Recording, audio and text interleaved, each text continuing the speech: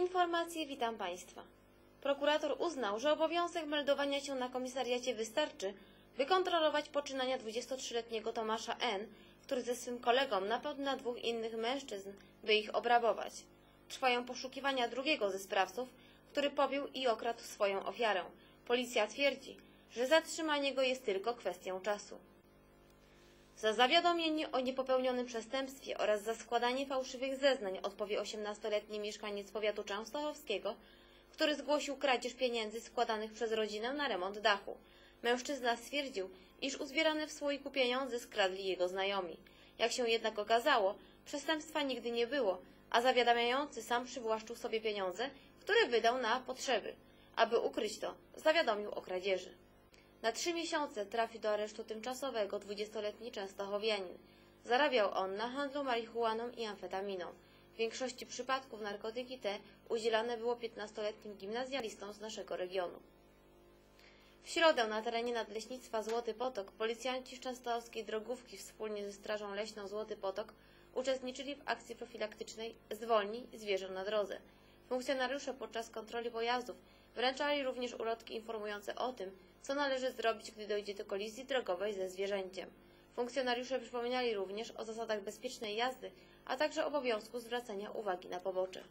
Stowarzyszenie Pomocy Dzieciom z Krawek Nieba, które funkcjonuje w budynku Straży Miejskiej w Częstochowie, otrzymało dyplom uznania podpisany przez prezydenta Częstochowy Krzysztofa Matyjaszczyka z rąk naczelnika Wydziału Ochrony Środowiska, Leśnictwa i Rolnictwa Urzędu Miasta Roberta Magdziarza za akcję Wiosna tak, śmieci nie. W akcji brali udział również pracownicy Straży Miejskiej.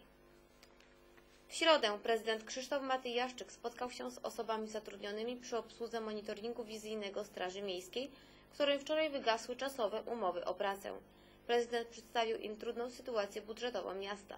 Matyjaszczyk zapewnił, że będzie interweniował u komendanta Straży Miejskiej, aby ten rozważył możliwość wykorzystania kwalifikacji i doświadczenia zwolnionych osób, choćby zatrudniając je na pół etatu. Regionalna Izba Przemysłowo-Handlowa w Gliwicach organizuje drugą edycję konkursu Marka Śląskie.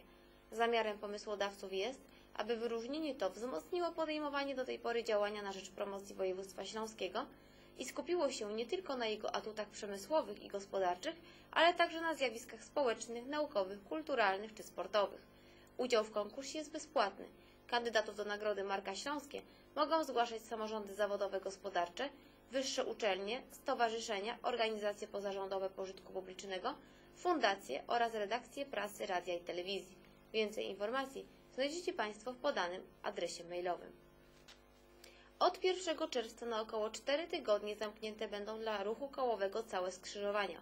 Ulica Dąbrowskiego z ulicą Racławicką oraz ulica Nowowiejskiego z ulicą Szymanowskiego. Wyznaczono objazdy od Alei Jana Pawła II w kierunku południowym następującymi ulicami Popiłuszki, Płaskiego oraz Kościuszki i Wolności.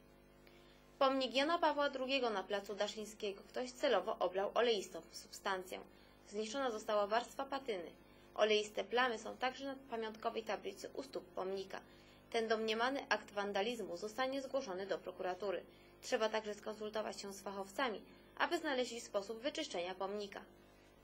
26 maja o godzinie 12 na placu Daszyńskiego w Częstochowie rozpoczął się Marsz Różowej Wstążki pod hasłem Bądź zdrowa mamo, organizowany przez Stowarzyszenie Częstochowskie Amazonki pod patronatem prezydenta miasta Częstochowy. Od godziny 9 do 18 w czwartym liceum ogólnokształcącym imienia Henryka Sienkiewicza przeprowadzono badania mamograficzne dla kobiet, a od 13 panie mogły bezpłatnie skorzystać z badań USG. Porad udzielali im lekarze specjaliści. Celem akcji było zachęcenie do profilaktycznych badań, by skutecznie eliminować zagrożenia kobiecymi chorobami. Współorganizatorem Marszu Różowej Wstążki był Urząd Miasta Częstochowy. Projekt był współfinansowany ze środków miasta. Muzeum Częstochowskie włącza się aktywnie w obchody i zaprasza dzieci i młodzież na zajęcia grupowe. W Multicentrum Zodiak przez cały dzień trwać będzie Międzynarodowy Dzień Dziecka.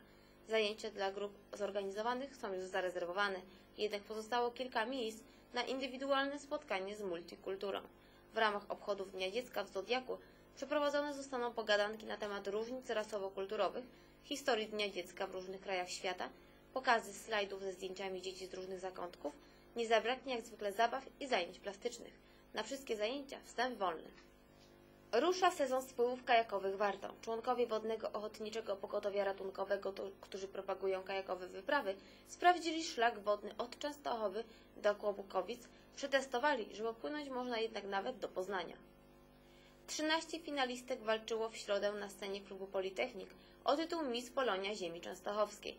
Na najpiękniejszą wybrano Kamilę Nowak.